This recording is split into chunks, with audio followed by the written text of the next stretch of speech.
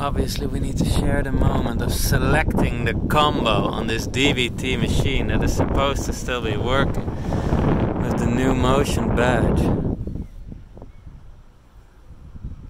Accepte! So your NewMotion is safe to use. The DBT quick charger. How many years has it been here?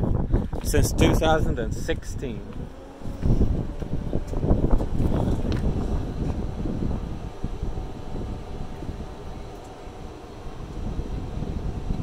Précharge. Come on. Charge en cours. That sounds good.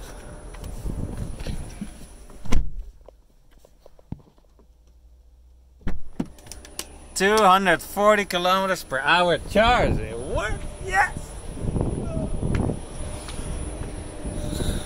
Let me show you the the gas station. We have our own secret spot here.